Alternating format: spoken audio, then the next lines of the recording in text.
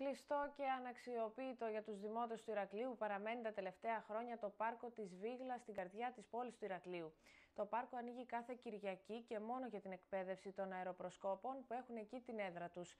Σήμερα μέλη της Δημοτικής Παράταξης Ηράκλειο Ανθρώπινη Πόλη έκαναν συμβολική επίσκεψη στο πάρκο έκτασης τεσσάρων στρεμάτων και ζήτησαν από τη Δημοτική Αρχή να κάνει όλες τις ενδεδειγμένες ενέργειες για το άνοιγμα του πάρκου στην κοινωνία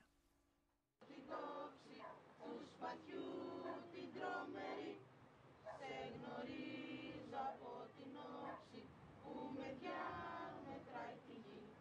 η έπαρση της σημαίας είναι μια διαδικασία που επαναλαμβάνεται κάθε Κυριακή στο λόφο της Βίγλας από τους αεροπροσκόπους που έχουν τη βάση τους στο συγκεκριμένο αλσίλιο.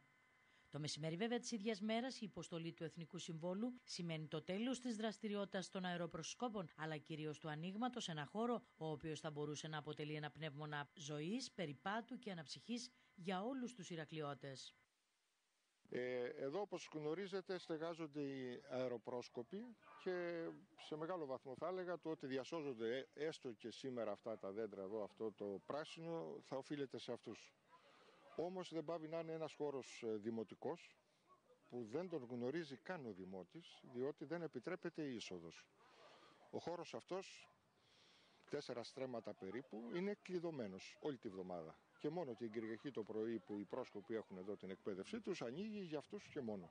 Σήμερα, μέλη της Δημοτικής Παράταξης Ηράκλειο Ανθρώπινη Πόλη, με επικεφαλή στο Θεόφιλο Τρουλινό και με στόχο να αναδειχθεί το θέμα, έκαναν πεζοπορία στο λόφο της Βίγλας, στέλνοντας το μήνυμα για αξιοποίηση, υπεράσπιση και απόδοση στους πολίτες του δημόσιου αυτού χώρου.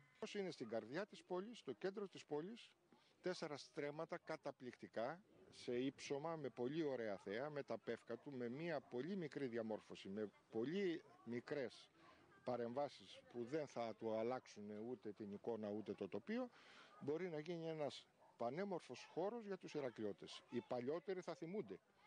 Η παράταξη του κυρίου Τρουλινού έχει φέρει το θέμα με ερώτησή της στο Δημοτικό Συμβουλίο Ηρακλείου. Μέχρι σήμερα, ωστόσο, το θέμα δεν έχει συζητηθεί. Γεγονός που σχολιάστηκε με καυστικό τρόπο από τον κύριο Τρουλινό. Τα θέσαμε σχετική πρόταση και ερώτηση.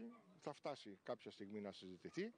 Θεωρούμε ότι ο Δήμος πρέπει άμεσα να παρέμβει, να αξιοποιήσει, να αναβαθμίσει αυτό το χώρο που μπορεί να έχει την Κυριακή τη χρήση που έχει σήμερα με τους ε, προσκόπους, όμως